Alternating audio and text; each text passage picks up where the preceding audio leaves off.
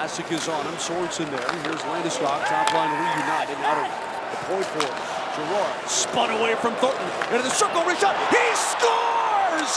Sam Girard! The spinorama tornado around Thornton racing to the dot and he rips it home. Girard finds an opening and it's back to a one-goal game again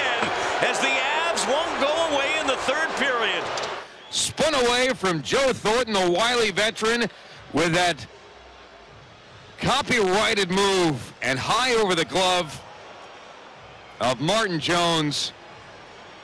And that is beautiful hockey. That is absolutely gorgeous hockey. C'est magnifique from Sam Girard.